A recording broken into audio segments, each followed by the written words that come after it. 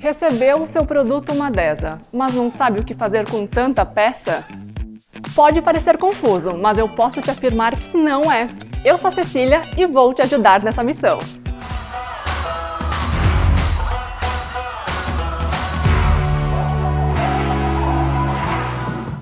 Chamamos de volumes as caixas que compõem o seu produto. Por isso, antes de entender sobre as peças, é importante que você saiba como identificar cada uma delas. Clique aqui para saber mais. Basicamente, cada caixa do seu móvel conta com seu respectivo manual e identificação das peças a partir de uma numeração. Vamos ver na prática como isso funciona? Após receber o seu produto, abra a embalagem com cuidado. Você pode encontrar todos os cuidados que você deve ter na hora da montagem clicando aqui.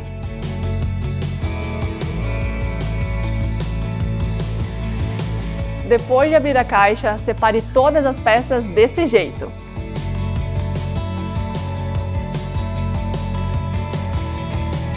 E aqui está o manual. Repare que a peça número 1 tem essas medidas, então temos que encontrar aquela que corresponde com as mesmas.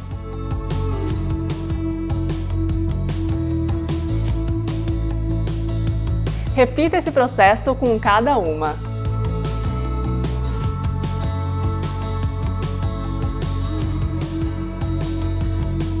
Ah, e repare que podem existir peças com a mesma medida, mas com furações diferentes, viu? Uma dica é identificar cada uma delas com um post-it ou uma nota, com cada um dos números. Falando em manual, Siga atentamente os passos indicados por ele ou pelo vídeo. Você pode focar em montar um balcão num dia e um aéreo em outro, fica a seu critério. Para os módulos de cozinha, a numeração das peças sempre será de acordo com cada caixa. Cada numeração se refere apenas àquele módulo. Se acontecer de uma peça estar avariada dentro da caixa, não se preocupe, estamos aqui para te ajudar. Antes de mais nada, identifique e verifique se é a única danificada.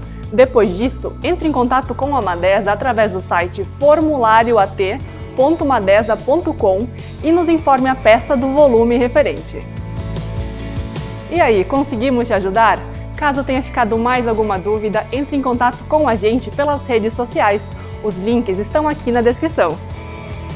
E não esqueça de se inscrever, hein? Até a próxima, pessoal!